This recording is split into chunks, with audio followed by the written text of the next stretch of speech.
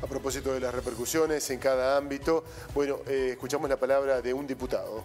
El diputado por la Unión Cívica Radical, Hugo Romero, que se refirió a la designación de Sergio Massa frente al Ministerio de Economía. Primero, el problema de la Argentina cuando se mete gobierno era la sostenibilidad de la deuda externa. Lo solucionaron con reprogramando los, títulos de, legislación extranjera, inclusive nacional, pero el incremento de, de la deuda interna hoy es insostenible. El gobierno se ha financiado a, costa de la inflación que afecta a los argentinos, pero también a costa de un mayor endeudamiento.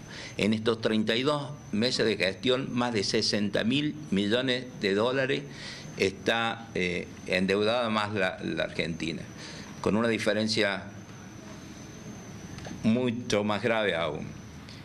Hay un deterioro en la distribución de los recursos. Una Argentina que cayó en la pandemia y que ha tenido un rebote en el, tema del crecimiento del Producto Bruto, pero con cada vez más pobre y una desigualdad en la distribución de los recursos. Esta Argentina eh, no se refleja con la euforia de ayer.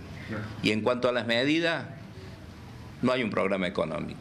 El programa que anunció ayer el el ministro Massa está orientado en consolidar una recuperación de las reservas del Banco Central que, eh, que claramente es producto de, un mal manejo de estos 32 años de gestión, tener la situación que tenemos hoy, pero aparte un programa eh, basado en, en la exportación, pero nada dicho de la competitividad que de la Argentina que ha perdido, sobre todo en estos 32 meses de gestión.